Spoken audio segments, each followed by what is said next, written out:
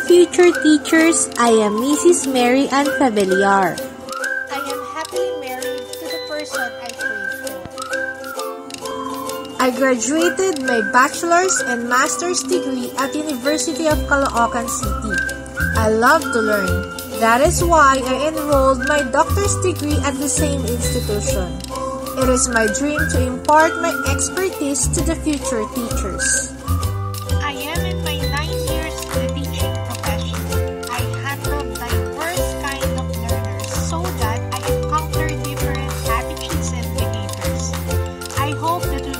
her